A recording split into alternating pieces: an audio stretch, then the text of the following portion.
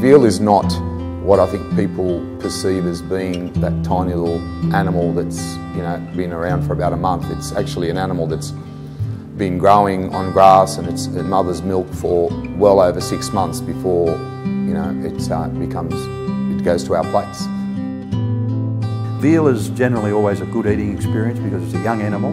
It's, uh, for another way of describing it, you could describe it as light beef. Not been through fluctuations in, in uh, quality of pasture.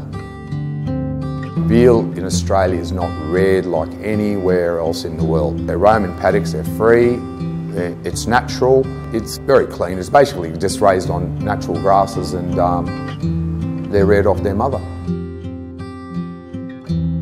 Well, we're looking for a good quality animal that um, has conformation and muscling and, and that, that's been on an upward plane of nutrition.